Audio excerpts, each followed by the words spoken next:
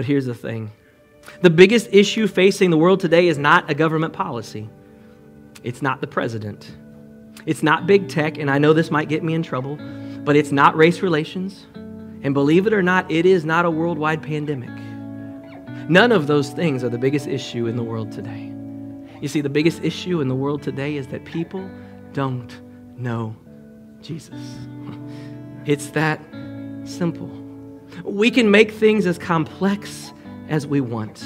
We can create insurmountable issues and challenges that we'll never, ever, ever, ever be able to overcome within this world. But all boils back down to the reality that people do not know Christ.